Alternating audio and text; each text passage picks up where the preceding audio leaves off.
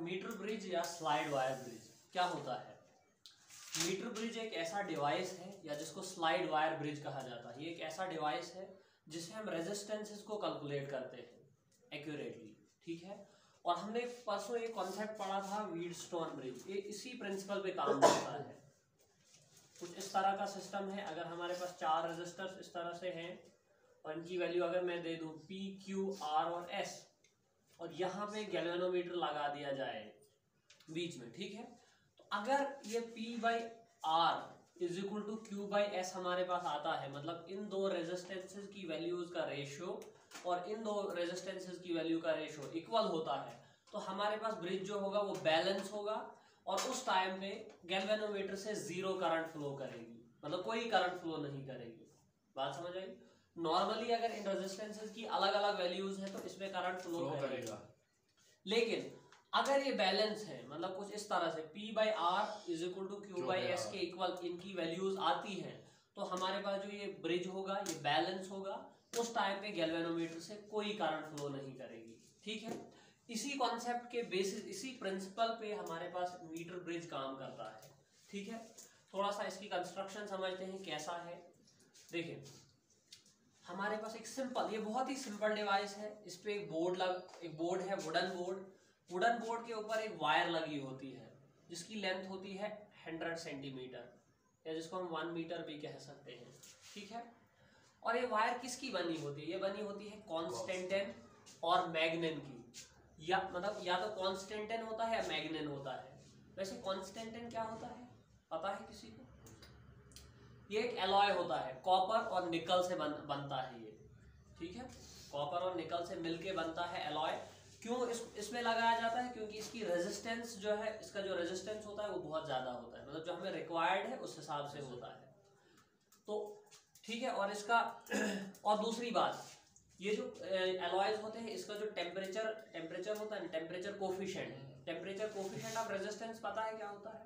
मैंने बताया था पहले कि टेम्परेचर कोफिशिएंट ऑफ़ रेजिस्टेंस होता है कि आप कितना टेम्परेचर बढ़ाओगे तो one degree sorry one ohm उसका रेजिस्टेंस बढ़ेगा।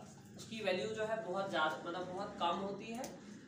कहने का मतलब यह है कि आपको रेजिस्टेंस आपको टेम्परेचर बहुत ज़्यादा बढ़ाना पड़ेगा, तब जाके थोड़ा सा चेंज आएगा रेजिस्टेंस में।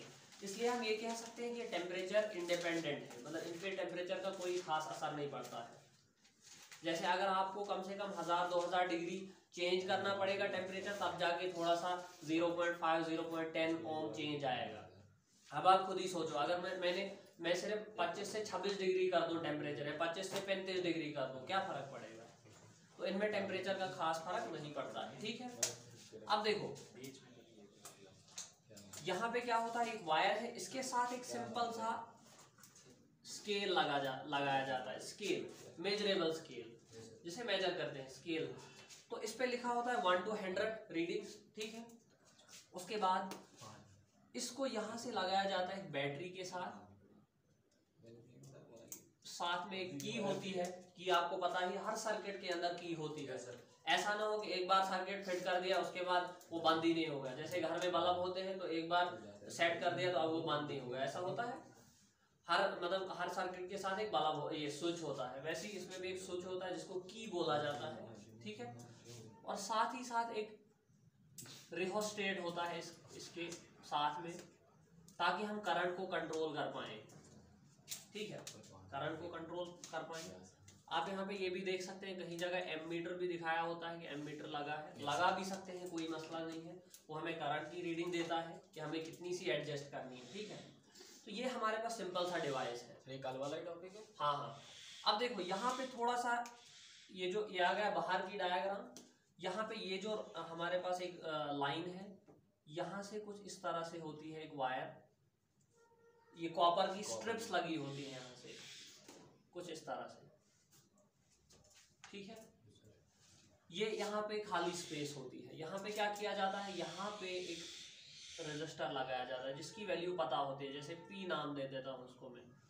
और यहाँ पे वो रजिस्टर लगाया जाता है जिसकी हमें वैल्यू कैलकुलेट करनी है। ठीक है? ये वो मतलब ये पी इसको क्यू नाम रख देते हैं और ये हमें पता नहीं है। हमने देखना है कि हम इसको कैसे निकाल सकते हैं इसी कॉन्सेप्ट के बेसिस पे। ये आप ऐसा समझ लो कि इसकी एप्लीकेशन जो वीट स्टोन ब्रिज है, उसकी एप्लीकेशन है ये, ठीक है? यहाँ पे क्या होता है? यहाँ तक समझ आई बात कैसे सर्किट है। यहाँ से एक वायर ली जाती है ऐसे। इसके साथ में गैल्वेनोमीटर लगाया जाता है, ठीक है? और ये फ्री एंड होता है दूसरी साइड मतलब किसी के साथ लगी नहीं होती है फ्रीली मूव करती है इधर उधर। तो इसके सामने एक रॉड जैसी लगी होती है जिसको जॉकी कहा जाता है। सिंपल सी एक रॉड है जैसे पेन है। अगर मैं इस पेन के अंदर से एक मेटल की रॉड डाल दूँ और आगे से बहुत शार्प बना दूँ उसको शार्प एज बना दूँ और उसको वायर के साथ मतलब ये बनेगा मेरे पास जॉकी सिंपल एक रॉड है अंदर से ऊपर से प्लास्टिक इसलिए कि इंसुलेटेड रहे ठीक है? यहाँ पे लगा होता है ठीक है? जॉकी बोला जाता है इसको। यहाँ तक बात समझ आई? अब देखो, अगर थोड़ा, अब अगर हमने इस रेजिस्टेंस को अगर बात करते हैं वर्किंग की मतलब कैसे निकालना है इस रेजिस्टेंस को? देखो, मैं इसको थोड़ा सा मिटा देता हूँ। ये ध्यान रखना, ये मीटर स्केल लगा हुआ है यहाँ पे। ठीक है? ये जो है, ये मीटर स्केल लगा हुआ है जिसपे one two three four hundred centimetre तक लिखा हुआ है। अब क्या करेंगे हम? ये जो जॉकी है, हम इसको इस वायर के ऊपर चलाएँगे। ठीक है? एक पॉइंट हमें ऐसा मिलेगा मान लो वो जे पॉइंट है। जहाँ पे हमें गैल्वेनोमीटर पे रीडिंग ज़ीरो मिलेगी। ऐसा क्यों होगा? फिर से वही ये देखो अगर मैं इसको वीडस्टोन ब्रिज बनाऊँ ये पी जो है इसको मैं यहाँ पे लिख सकता हूँ ठीक है? क्यू जो है यहाँ पे और यहाँ पे बीच में इनके बीच में से एक वायर है जिसके साथ गैल्वेनोमीटर लगा हुआ है। दूसरी साइड एक वायर है इसका तो रेजिस्टेंस है। अब मैं इसको सिंपली ऐसे ही बनाता हूँ। ये वायर जिसका कुछ रेजिस्टेंस है और दूसरी वायर यहाँ से। इसका भी कुछ रेजिस्टेंस है। इस क्योंकि देखो अब रेजिस्टेंस जो है वो लेंथ डिपेंडेंट होता है जितनी लंबी लेंथ लोगे रेजिस्टेंस उतना ज़्यादा। तो यहाँ पे इसकी वैल्यू चेंज होगी अगर मैं इस जॉकी को इधर उधर ले जाऊँ। तो एक पॉइंट हमें ऐसा मिलेगा जहाँ पे ये बैलेंस मतलब जी में ज़ीरो वैल्यू मिलेगी करंट की। उस टाइम पे जो है ब्रिज बैलेंस होगा कुछ इस तरह से। ठीक है? आई बात समझ में? यही कॉन्सेप्ट यहाँ पे है। अब हम इसका रेजिस्टेंस निकालेंगे कैसे वायर का? हमें सिर्फ़ निकालना जो हमारे पास जो मतलब मेजर जो करना है, वो इसका करना है। लेकिन अब हमें पहले यहाँ पे देखना, यहाँ पे क्या होगा? इनकी वैल्यूज़ क्या होगी? जैसे इसको मैंने P माना, ये Q, इसको मैं R ले लेता हूँ, इसको S, ठीक है? ब्रिज तो बैलेंस हो गया, ठीक है? अब हमने P by R is equal to Q by S करना है। लेकिन पहले में, मुझे ये तो पता होना चाहिए, ये जो वायर यहाँ से यहाँ तक है, इसका रेजिस्टेंस कितना है? देखो हमने देखा था रेजिस्टेंस जो होता है वो डिपेंड करता है रो एल अपॉन ए पे। ठीक है?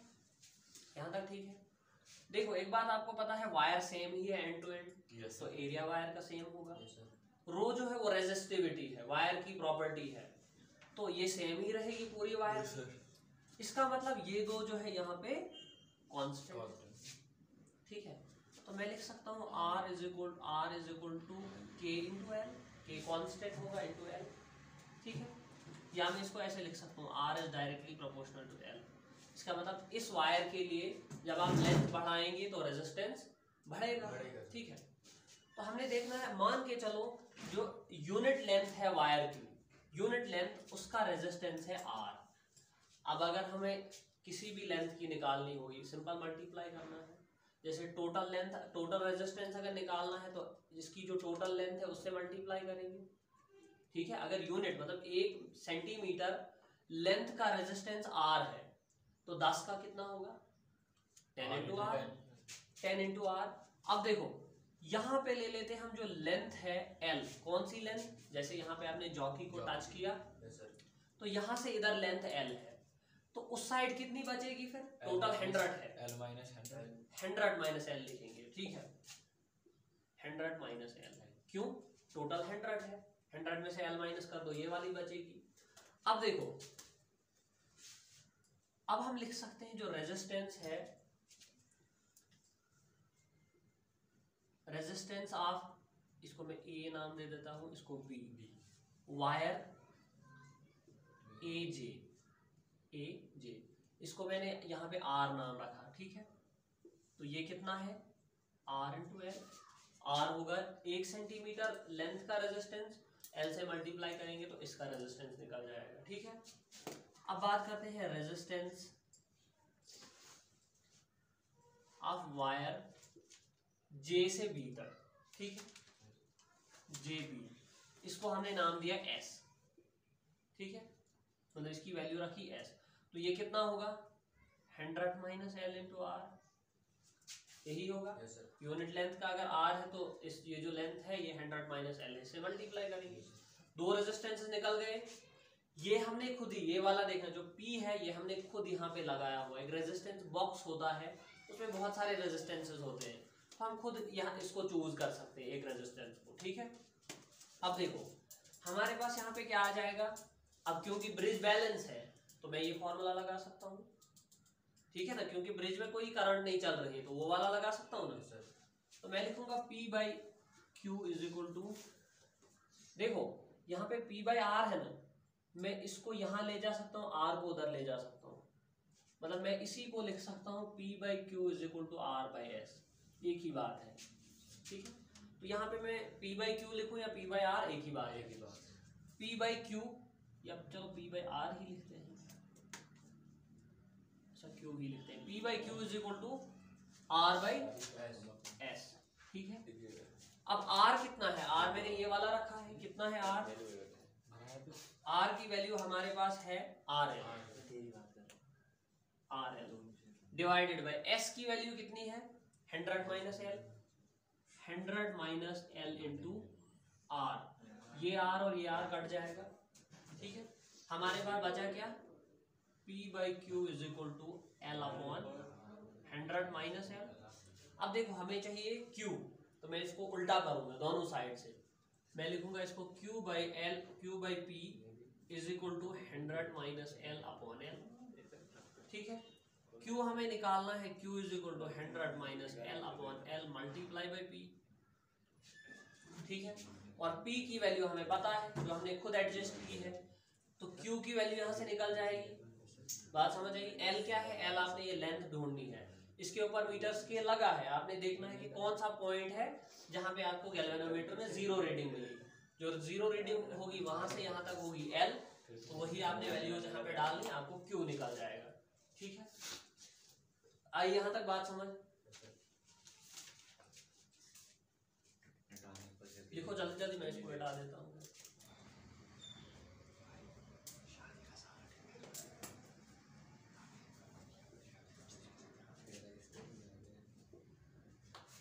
अब देखो हमने मतलब हमने पहले एक टॉपिक डिस्कस किया था। हमने कहा था कि अगर आपके पास एक सेल है उसका ईएमएफ सेल का ईएमएफ एक्यूरेटली कैसे मेजर किया जाता है? याद है आपको कुछ? सेल का ईएमएफ नॉर्मल अगर आप एक मीटर लेंगे तो उससे आपको एग्जैक्ट ईएमएफ नहीं मिलेगी। तो हमारे पास एक डिवाइस होता है जिसका नाम है पोटेंशियोमीटर इससे हम पोटेंशियल डिफरेंस और ईएमएफ को एक्यूरेटली मेजर कर पाते हैं। जैसे देखो नॉर्मली अगर आपके पास एक सर्किट है, जैसे यहाँ पे एक रेजिस्टेंस है और एक बैटरी है। रेजिस्टेंस कुछ भी हो सकता है फ़ैन है सेल है, या कोई भी डिवाइस हो सकता है, ठीक है? अब आपने इन दो पॉइंट्स पे पोटेंशियल डिफरेंस निकालना है, ठीक है? पोटेंशियल डिफरेंस निकालना है यहाँ पे। तो आपको पता है, यहाँ पे हमें एक फॉर्मूला लगा सकते हैं, V is equal to I R एक तो इस तरह से निकाल सकते हैं। दूसरा है कि आप एक वोल्ट मीटर यहाँ पे लगा देंगे, ठीक है? जब आप वोल्ट मीटर यहाँ पे लगाओगे तो वोल्ट मीटर जो है वो थोड़ी सी करंट इससे ड्रा करेगा सर्किट से। फिर यहाँ का पोटेंशियल फिर उसको पता चलेगा यहाँ पे पोटेंशियल डिफरेंस कितना है। लेकिन जो वो पोटेंशियल डिफरेंस निकलता है वो एक्यूरेट नहीं होता है। मतलब ऐसा नहीं है कि मतलब बहुत ज़्यादा गैप होगा थ्री होगा तो ये फोर दिखाएगा। सॉरी मतलब फोर फाइव होगा तो ये टू दिखाएगा। इतना बड़ा गैप नहीं होता है। लेकिन एग्जैक्ट वैल्यू नहीं होती है इन दो पॉइंट्स पे। कहीं कहीं जगह पे हमें बिल्कुल चाहिए होती है कि हमें बिल्कुल एक्यूरेट वैल्यू मिले। नॉर्मली अगर आपने एक सेल को देखना है कि वो खराब है कि चल रहा है जल्दी जल्दी आप मीटर लगाएँगे तो आपको अगर रीडिंग दिखती है 1.5 1.4 के आसपास तो आप कहोगे ठीक है। लेकिन वहाँ वहाँ पे आपको रफ रीडिंग चाहिए। लेकिन जहाँ पे हमें एक्यूरेट रीडिंग चाहिए, वहाँ पे हम यूज़ करते हैं पोटेंशियोमीटर का। इससे हम एक्यूरेटली सेल का ईएमएफ निकालते हैं। या किसी भी सर्किट के अंदर एक्यूरेट पोटेंशियल डिफरेंस निकालते हैं ठीक है? तो अब देखो पोटेंशियल ये जो पोटेंशियोमीटर है ये बिना करंट ड्रा किए जैसे ये क्या करेगा? यहाँ से थोड़ी सी करंट निकलेगी फिर यहाँ पे निकल जाएगा। जैसे देखो ये यहाँ से कुछ करंट ड्रा, ड्रा करेगा यहाँ पे एक एम मीटर लगा होता है इसके अंदर। वो करंट निकालेगा तो और रेजिस्टेंस भी इसका होता है वहाँ पे अंदर मल्टीप्लाइकेशन होगी। आई इंटू आर का तो आपको मिल जाएगा वी ठीक है? अगर करंट नहीं निकली जैसे करंट ज़ीरो होगी तो ये आपको कोई नहीं दिखाएगा पोटेंशियल डिफरेंस ये ज़ीरो दिखाएगा। मतलब जहाँ पे जो आपने मीटर लगाया है अगर करंट ज़ीरो निकलती है इससे तो आपको पोटेंशियल डिफरेंस ज़ीरो दिखेगा। कुछ नहीं ना वैल्यू मिलेगी इसकी लेकिन जो पोटेंशियोमीटर है वो कोई मतलब ज़ीरो करंट निकालता है कुछ भी करंट नहीं निकालता है तभी एक्यूरेटली इन दो पॉइंट्स का पोटेंशियल डिफरेंस देता है हमें ठीक है? अब देखो पोटेंशियोमीटर मैंने बताया कि एक डिवाइस है, जिसके थ्रू हम क्या करते हैं? पोटेंशियल डिफरेंस को मेजर करते हैं दो पॉइंट्स में। ईएमएफ e दो सेल्स की ईएमएफ e को कंपेयर करते हैं। इंटरनल रेजिस्टेंस निकालते हैं किसी भी सेल का। आज हम समझेंगे पहले ये प्रिंसिपल क्या है, उसके बाद इसकी एप्लीकेशन है, ठीक है? उसी तरह, जैसे पीछे था, बिल्कुल उसी तरह सा थोड़ा सा चेंज है इसमें। एक वुडन बोर्ड है हमारे पास। इसके ऊपर एक वायर लगी हुई है, उसी कॉन्स्टेंटिन या मैग्निन की। ठीक है? तो यहाँ पे सेम उसी तरह से एक बैटरी एम मीटर की और रेहोस्टेट इसके साथ कनेक्टेड है, ठीक है? फ़र्क सिर्फ़ यहाँ पे कोई रेजिस्टेंस नहीं लगा है जैसे वहाँ पे था। यहाँ पे लेकिन एक उसी तरह से एक मीटर स्केल लगा होगा जिसपे रीडिंग होगी। और ये जो पॉइंट है, यहाँ से एक वायर निकलती है। यहाँ पे हम एक वोल्ट मीटर लगा देते हैं। ठीक है। और सामने एक जॉकी ठीक है? ठीक है यहाँ तक? अब देखो। ये जो हमारी, अगर मैं इस जॉकी को यहाँ पे किसी पॉइंट पे टच करता हूँ, ठीक है? इस पॉइंट पे तो हमें कुछ पोटेंशियल डिफरेंस मिलेगा। मिलेगा ना? दो पॉइंट्स पे टच किया है। ये वायर जो है इसका, देखो नॉर्मली एक, अगर एक वायर है, इसमें करंट चल रही है तो ये दो आप पॉइंट्स लोगे तो आपको कुछ पोटेंशियल डिफरेंस मिलेगा यहाँ पे। ठीक है ना? अगर इसका कुछ रेजिस्टेंस है। आपको पता है पोटेंशियल डिफरेंस होता है आई इंटू आर अगर रेजिस्टेंस की वैल्यू नॉन ज़ीरो है मतलब कुछ वैल्यू है करंट भी चल रही है तो पोटेंशियल डिफरेंस होगा। वैसे ही इस वायर में हमने एक सर्किट कनेक्ट कर दिया है। इस वायर में करंट चल रही है तो पोटेंशियल डिफरेंस तो होगा अगर दो पॉइंट्स में लो ठीक है। अब हमने देखना है ये पोटेंशियल डिफरेंस किस पे डिपेंड करता है। देखो यहाँ पे जो सर्किट है, इसमें हम करंट को कॉन्स्टेंटली मेंटेन कर सकते हैं। ठीक है? जैसे रेहोस्टेट लगा हुआ है, एक बैटरी लगी हुई, हम पहले ही मेज़रमेंट देखेंगे इतनी हमें करंट चाहिए। जैसे मानो 2.0 पॉइंट तो यहाँ पे एमीटर लगा है। हम रेहोस्टेट को एडजस्ट करेंगे करंट 2.0 पॉइंट एम्पियर फ्लो करेगी सर्किट में। ठीक है यहाँ तक अब देखो, हमने देखा कि V होता है आई आर के, जो पोटेंशियल डिफरेंस होगा इन दो पॉइंट्स के बीच में। अब हमारे पास ये जो आर होता है, ये हमने अभी देखा, ये होता है रो एल अपॉन ए के इक्वल ठीक है? तो पोटेंशियल डिफरेंस जो है, ये इन चीज़ों पे डिपेंड करेगा आई रो ए और एल अभी मैंने कहा कि करंट को हम कांस्टेंट रख सकते हैं मेंटेन कर सकते हैं। एरिया ऑफ़ वायर ये जो यहाँ से यहाँ तक वायर लगी है, क्या इसका एरिया चेंज होगा? क्या ये चेंज हो रहा है? नहीं, क्योंकि वायर सेम ही है एंड टू एंड तो एरिया भी सेम रो जो है वो भी सेम है।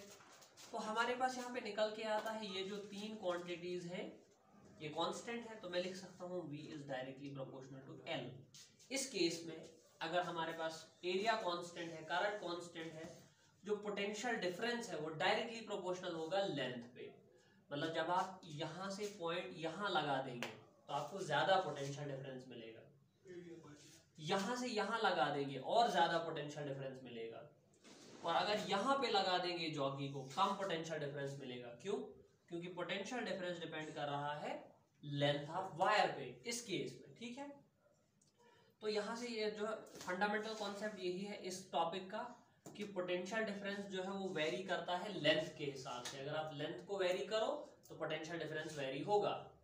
इसको fall of fall of potential भी कहा जाता है। क्यों? पोटेंशियल डिफरेंस क्या होता है? अभी देखो, ये पॉइंट है और ये पॉइंट है। इनमें पोटेंशियल का डिफरेंस है। इसका मतलब यहाँ पे कम है और यहाँ पे ज़्यादा है। जैसे आप दूर जाओगे पोटेंशियल डिफरेंस बढ़ेगा। मतलब इस पॉइंट पे और कम होगा इसके मुकाबले। तो जैसे जैसे उधर जाओगे तो पोटेंशियल ड्रॉप होगा। मैं कह सकता हूँ इसको, इसीलिए इसको कहा जाता है फॉल ऑफ़ पोटेंशियल ठीक है? क्योंकि पॉइंट के साथ साथ पोटेंशियल ड्रॉप होता है। ठीक है अब देखो, ये फंडामेंटल इसका कॉन्सेप्ट समझ आया कि यहाँ पे कॉन्सेप्ट सिंपल है कि पोटेंशियल डिफरेंस जो है वो लेंथ के हिसाब से वेरी करता है। लेंथ बढ़ेगी तो पोटेंशियल डिफरेंस ज़्यादा मिलेगा हमें। कम होगी तो पोटेंशियल डिफरेंस कम होगा, ठीक है? अब हम इसकी एप्लीकेशन पे बात करते हैं। कैसे हम एक सर्किट में इसको लगा के हम एक्यूरेट पोटेंशियल डिफरेंस को मेजर कर सकते हैं। डायग्राम सेम ही रहेगी।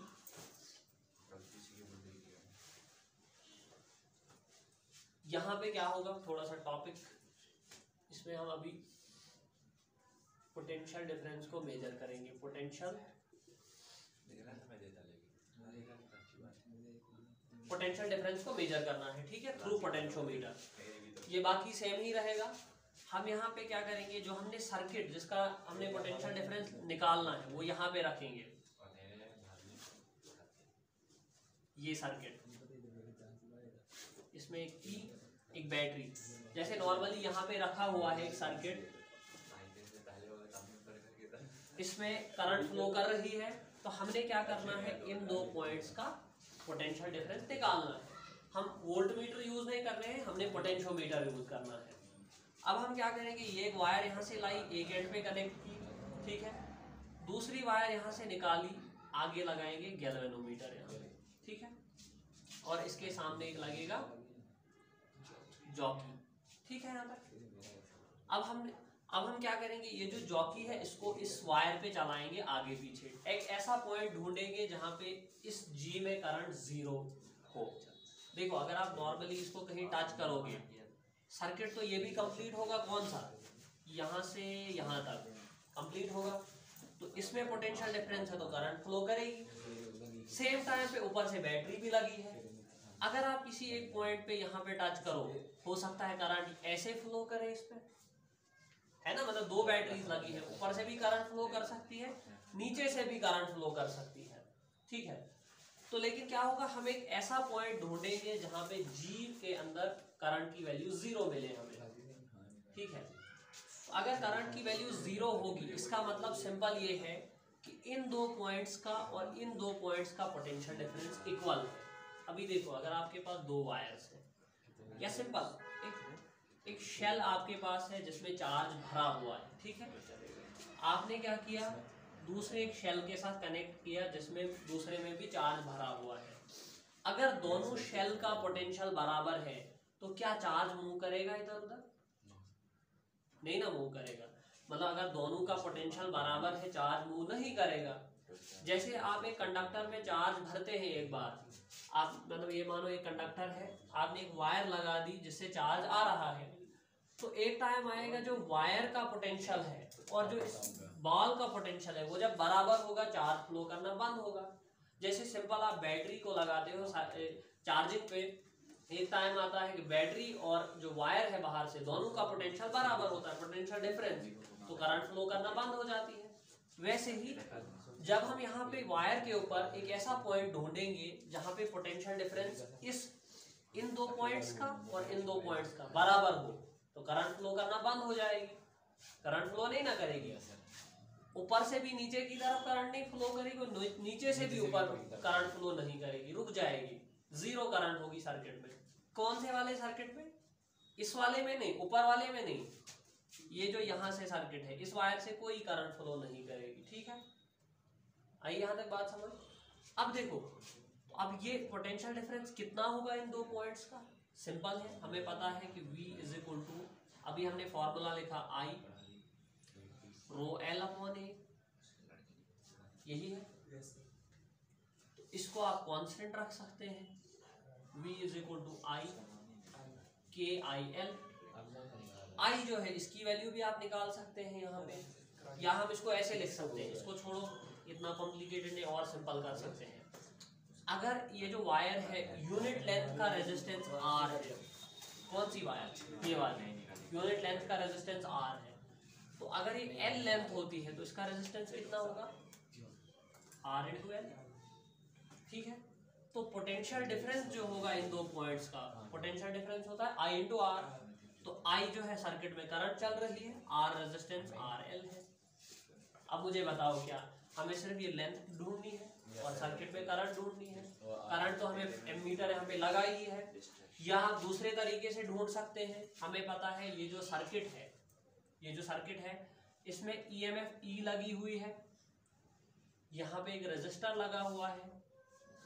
तो मैं लिख सकता हूँ हमें पता है ई एम एफ़ होता है आई करंट कितनी चल रही है मल्टीप्लाई बाय टोटल रेजिस्टेंस यहाँ पे दो रेजिस्टेंस है एक आर है ठीक है? और दूसरा इस वायर का रेजिस्टेंस है। मैं लिखूँगा आर प्लस इसका कितना रेजिस्टेंस होगा? आर इंटू एल एल है टोटल लेंथ ऑफ़ वायर तो यहाँ से हम करंट की वैल्यू निकाल सकते हैं। E is equal to R into R plus L current की वैल्यू निकल गई। यहाँ पे हम डाल सकते हैं V is equal to I V is equal to R into L और I की वैल्यू डालते हैं E अपॉन आर प्लस अब देखो R जो है वो पहले ही मेजर किया जा सकता है। अब हमने L ढूंढना है। तो जो ये इन दोनों पॉइंट्स का पोटेंशियल डिफरेंस होगा वही इन दोनों पॉइंट्स का पोटेंशियल डिफरेंस है। क्यों? तभी तो करंट फ्लो नहीं करेगी। बात समझ आई? जब आप यहाँ का पोटेंशियल डिफरेंस निकालोगे वही होगा इन दो पॉइंट्स का पोटेंशियल डिफरेंस ठीक है? तो आपके पास वैल्यू निकल जाएगी ये पोटेंशियल डिफरेंस की। हमें ढूंढना क्या है? जब भी आप पोटेंशियोमीटर लगाओगे ये लेंथ आपने जॉकी को इधर उधर चलाना है, तब तक चलाते रहना है, जब तक जी की वैल्यू आपको ज़ीरो गैल्वेनोमीटर में डिफ्लेक्शन ज़ीरो ना आ जाए। ठीक है? आइए यहाँ तक बात समझ। ठीक है, काफ़ी है। इसके अलावा इसकी एक और एप्लीकेशन है, वो भी थोड़ी सी पढ़ लेते हैं। पोटेंशियोमीटर का यूज़ किया जाता है ईएमएफ जैसे दो सेल्स हैं, वो ध्यान दो। पोटेंशियोमीटर का यूज़ किया जाता है ईएमएफ को भी कंपेयर करने के लिए। जैसे आपके पास एक सेल है, उसकी कुछ ईएमएफ है, दूसरा सेल है, उसकी भी कुछ ईएमएफ की वैल्यू है। आप चाहते हो पता करना कि ये जो है ईएमएफ जो है इनको कंपेयर करना चाहते हो? मतलब जैसे मानो एक की ईएमएफ E1 है, दूसरे की है E2 आप ये जानना चाहते हो कि इनका रेशो कितना होगा? ये ई ईएमएफ इससे कितनी ज़्यादा होगी? इनको आप कंपेयर करना चाहते हो तो इस इस जो डिवाइस है, इसके थ्रू हम कर सकते हैं। कैसे? बहुत ही सिंपल है, जैसे पिछला वाला था।